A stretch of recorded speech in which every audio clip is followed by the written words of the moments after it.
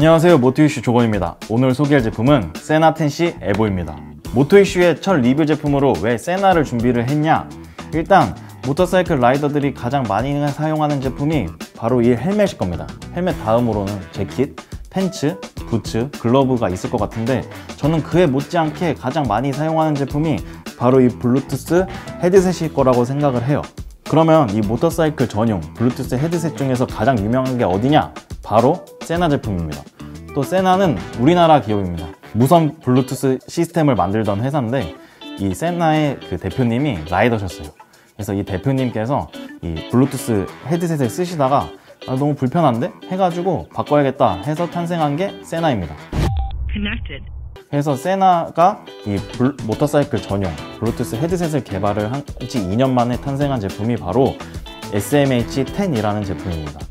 근데 이 SMH10이 출시한 지 2년 만에 미국에서 50%, 유럽에서 20%의 시장 점유율을 확보합니다. 세나는 처음 초기 제품부터 성공을 했고 이후에 많은 제품들을 선보이기 시작했어요.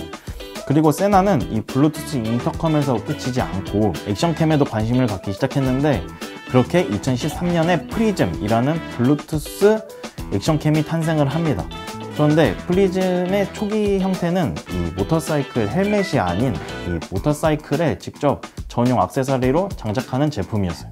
그래서 세나는 이 블루투스 헤드셋에 이 액션캠을 적용할 생각을 합니다. 그렇게 2015년에 10C라는 제품이 탄생을 했어요.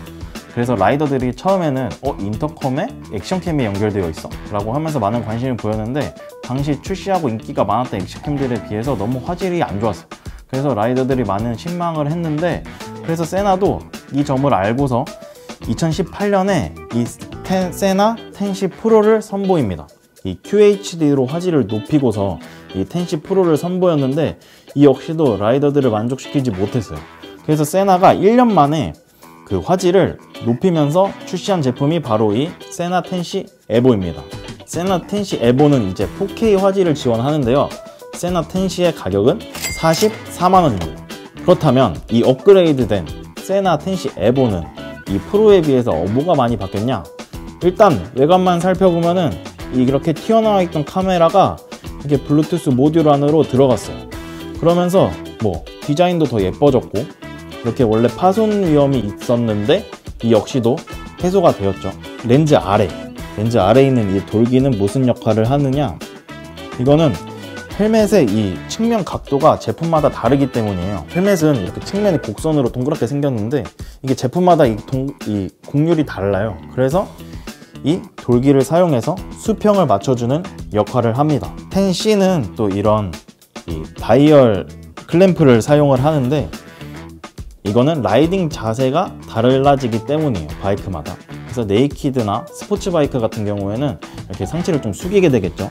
그렇게 되면은 이렇게 각도를 들어줌으로써 이 각도를 맞춰주고 이렇게 어드벤처나 touring 바이크를 타게 되면 상체가 서게 되고 이제 헬멧도 이제 아래쪽을 보게 되는데 그럴 때는 이 각도를 내려줌으로써 각도를 맞춰주는 역할을 합니다 세나 텐시 에보로 오면서 가장 달라진 점은 아까 말씀드렸듯이 4K 화질을 지원한다는 거.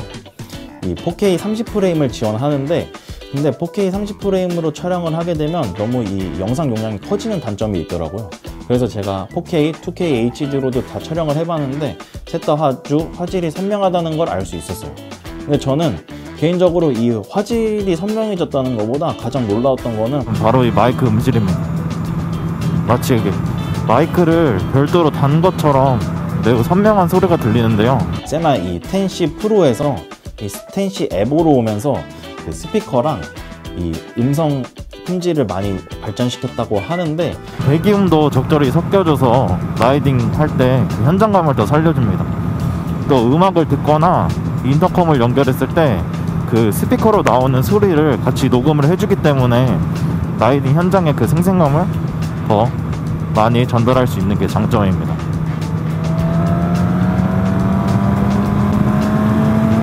또 이 세나 10C 에보에 제가 그 사용 후기를 좀 살펴보니까 좀 배터리가 빨리 닳는다 뭐 이런 의견이 있었는데 뭐 그거는 인터컴에 카메라가 더해져서 이 두 가지 기능을 사용하다 보니까 뭐 어쩔 수 없는 당연한 것 같고 또 제가 투어를 다니면서 사용해 봤는데 8시간 이상 바이크를 타고 했을 때도 하루 정도는 충분히 사용할 수 있는 정도였어요. 또 배터리에 대한 좀 오해가 있는데 이 외부 배터리를 연결했을 때 충전이 안 된다. 근데 그거는 사실이긴 해요. 배터리 하나로 이 인터컴이랑 이 카메라를 함께 사용하다 보니까 과열을 방지하기 위해서 외부 배터리가 연결됐을 때 이거를 차단한다고 하더라고요. 충전을. 그런데 대신 외부 배터리가 연결됐을 때 그 배터리를 이용해서 바로 이 블루투스 인터컴이 작동을 하기 때문에 카메라도 함께 작동되기 때문에 크게 문제될 거는 없다고 생각을 합니다. 그럼 이 텐시 에보의 간단한 사용법을 한번 살펴보겠습니다.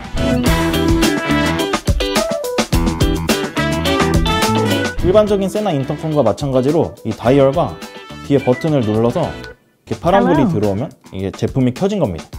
이 위에 있는 버튼이 바로 카메라 버튼입니다. 이 버튼을 한 번 누르게 되면 카메라가 켜지고 이후에 카메라 버튼을 한 번 누르면 사진 촬영 그리고 2, 3초 정도 누르면 동영상 촬영이 시작됩니다.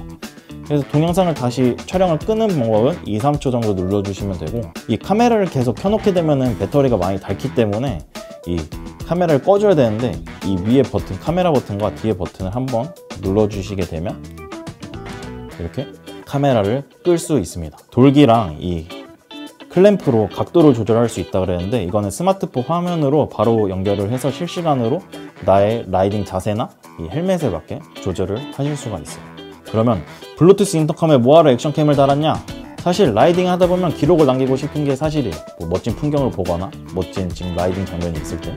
근데 또 달리다가 멈춰서 핸드폰 꺼내고 카메라 꺼내고 액션캠 꺼내고 이게 보통 귀찮은 게 아니에요. 그래서 라이더들이 액션캠을 헬멧에 달기 시작을 했는데 이게 헬멧에 세나 달고 액션캠 달고 마이크 선 달고 이러면은 이게 헬멧인지 촬영 장비인지 모를 정도로 무겁고 복잡해지잖아요. 근데 이 세나 10C 에보는 이거를 한 번에 해결할 수 있어요. 또 라이딩 하면서 사진도 촬영할 수 있고 영상도 바로 바로 찍을 수 있으니까.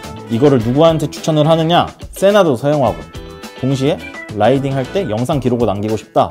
또 그런 분들 중에서 유튜브나 SNS에 요즘 유행하는 것처럼 모터사이클 브이로그를 남기고 싶다. 그런 분들께 추천드립니다. 자 오늘은 세나 10C 에보에 대해 살펴봤는데요. 앞으로 더 많은 리뷰와 컨텐츠로 찾아뵙겠습니다. 감사합니다